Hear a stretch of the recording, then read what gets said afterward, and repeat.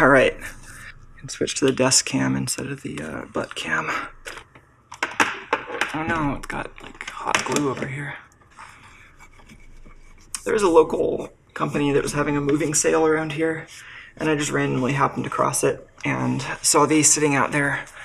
And I was like, How much do you want for those? And gave him some cash and took them home. So I got two of these test fixtures that used to be used by a local hardware company to test stuff that they were manufacturing. So we've got power supply and some custom boards down there. I think the deal behind this is that these would run some automated tests after the microcontrollers were already programmed. So there was a different jig that they would use for programming. You'd have a panel of circuit boards that you'd place with the uh, like alignment holes on these things, and they would center on these cones. And then I think there might have been another pressing piece or something that keeps these down. There's another there's another piece on the other one which I'll show you, but and this goes down and presses on the tops of the boards, and you can adjust these to press somewhere where it isn't going to damage the board.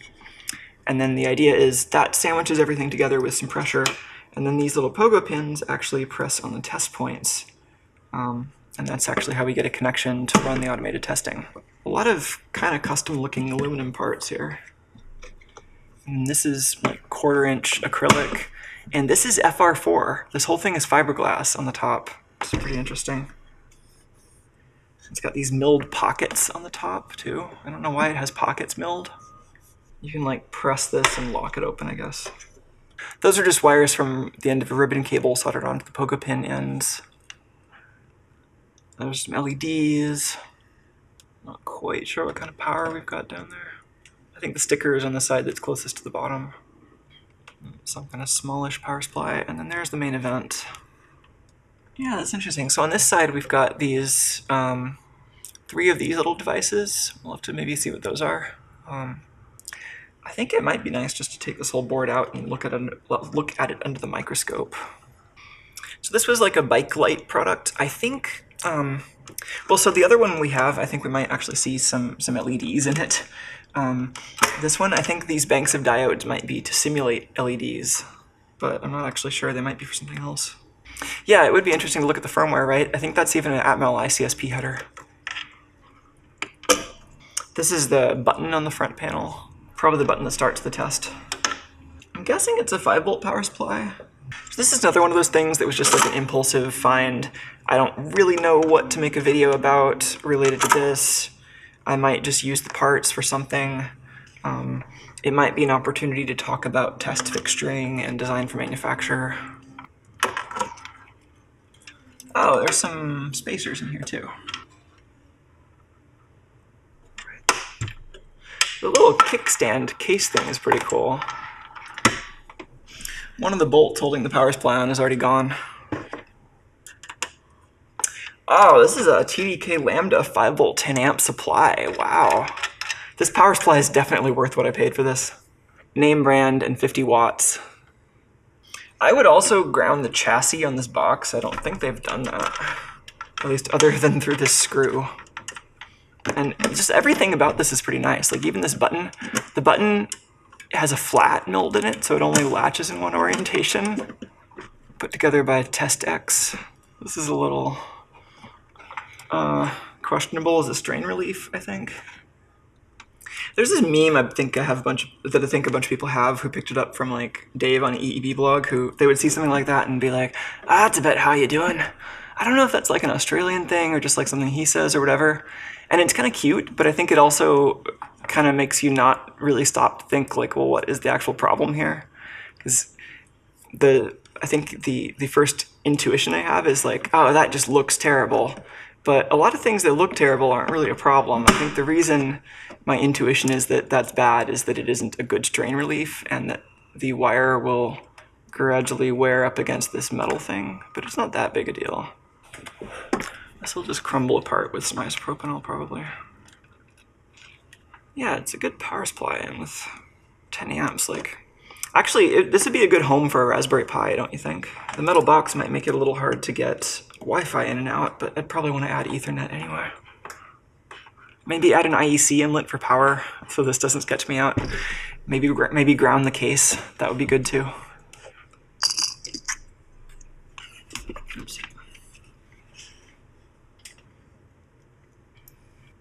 Atmega 48, huh? So it has five of these. This whole thing is just like five copies of the same circuit, it looks like.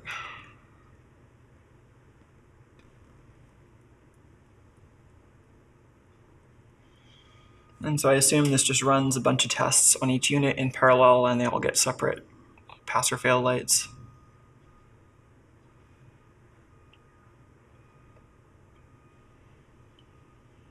Got some power resistors we can switch in and out. That might be more like load testing or current measurement stuff. Like for a test jig like this, you would probably want to measure the current of the device under test. Um, but I don't see any like A to D or amplifier kind of stuff around here. So this might just be a load. That might just be a transistor turning the load on and off. And then here's that big field of diodes I was talking about. Lots of solder paste residue from this. Um, conductive debris, as I would call it. You can't really nitpick about the quality of something that's like built just for um, just for testing, though. Like it's it's always nice when that stuff is shiny, but it really doesn't have to be. I hope that's like flux on that resistor and not a burn mark. It looks like they just didn't clean this much after soldering and it was fine for them. It just doesn't look good under a microscope. And also no solder mask, which makes that kind of stuff harder. I think these are for driving the status LEDs. So this section is only populated on one of the boards. It's got this copy of the circuit, uh, six inverters, and a, sh well, Schmitt trigger input inverters. I think that's where the front panel button was attached.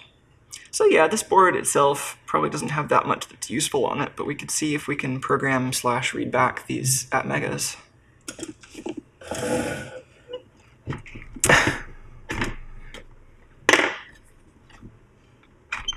I need more desk space for this. Yeah, this thing is kind of intense. Um, this was apparently used to test the um, the LED drivers and the accelerometer and the Hall effect sensor. And this runs off of a smaller power adapter. This is 5 volts, 2 amps. Very dusty. I think this is just a leash. I think it's just a magnet on the end of this. I think the idea is that there is some point at which the operator has to wave this um, around in here the guy who sold me this was telling me about how the test worked. Like you had to like stick this in at some point. There's a USB cable coming out of the top for some reason.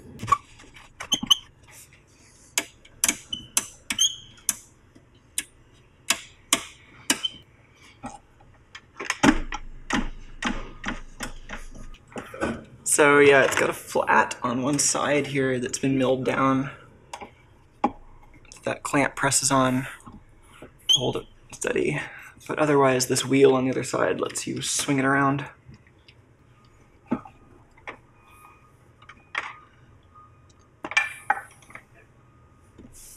So similar board mounting method this way. Looks like there's some tap holes up here too. It's nice. And this is similar. This has a like a tray in here. So there are different positions this fits in. I don't know why. Maybe there were some different alignments that they needed. Um, and this would be a panel with several boards, I guess five at a time.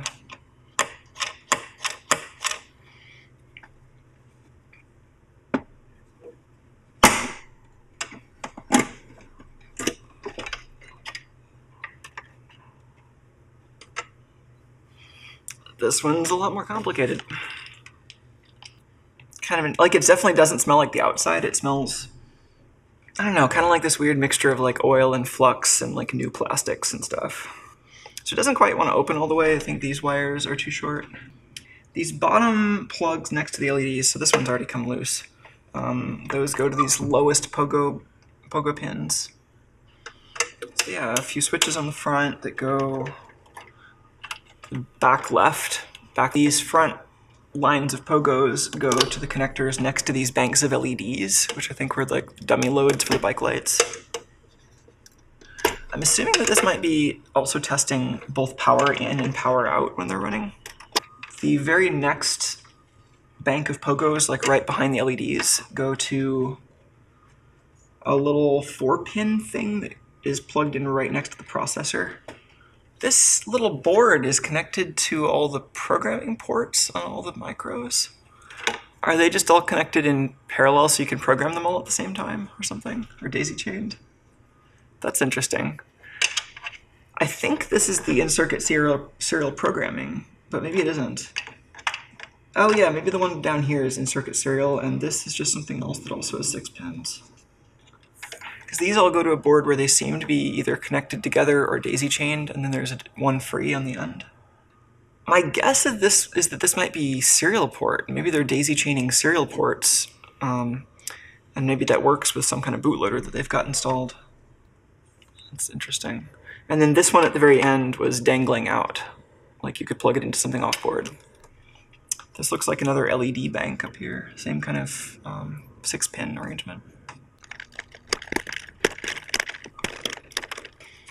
And then these red and black ones go to the LEDs. These are like status output LEDs for the tests. But it looks like they're just using that for power. Uh, so I don't know, maybe someone wanted to charge their phone off the test harness. I think it's more likely that maybe something on the same panel, like something on the panel had a USB type B jack. But I kind of assumed their product wouldn't have a USB type B because it's like a bike light, right? Wouldn't have a full-size USB connector. Did they take the bottom? They might have taken the whole bottom of this case off to get this plug through, actually.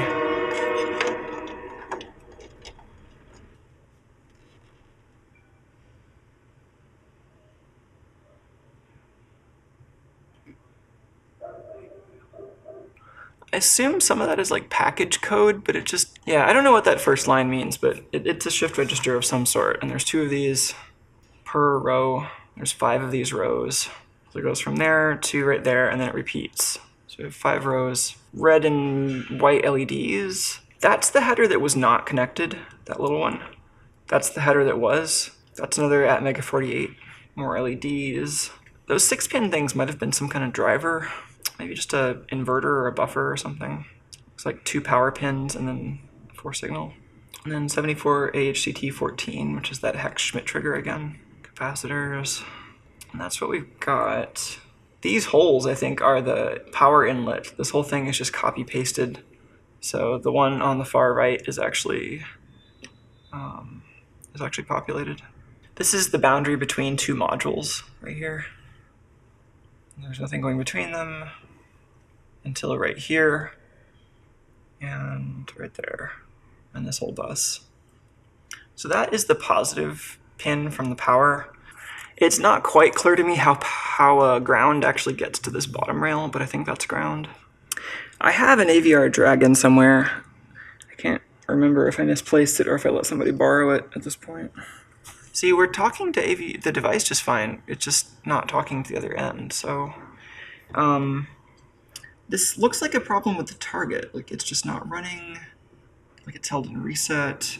Um, no, it certainly could have the protection bit set. Um, I would expect a different error though. I don't think that completely disables the ICSP port. I would find it really unlikely for the factory test jig to have the ICSP port completely disabled, even if they have code protection, uh, um, you know, code protection, like code readout protection enabled.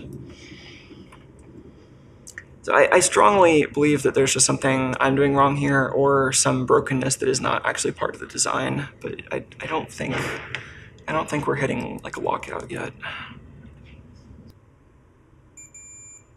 Yeah. That's wired totally standardly. Oh, was that a reset pulse? That's a reset pulse. Oh, there's a bodge on the reset on this board. So all of these look pretty much the same. That bodge is on pin 1.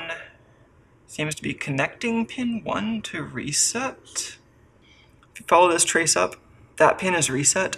So this is a pull up for reset. All of that's good so far. But is that via? No, that via.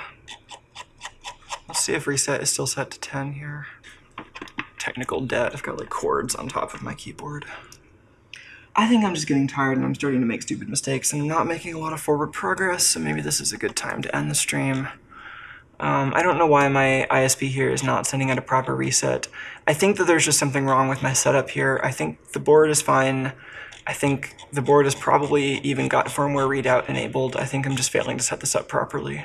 So we'll deal with this some other time. Let me know what you thought, um, especially if you have any ideas for where to take these particular projects in the future. I think at the very least that was an interesting, um, like kind of garage sale sort of find, and maybe we'll even be able to turn this into something more useful for us or something, or make something interesting of that uh, enclosure at the very least. So.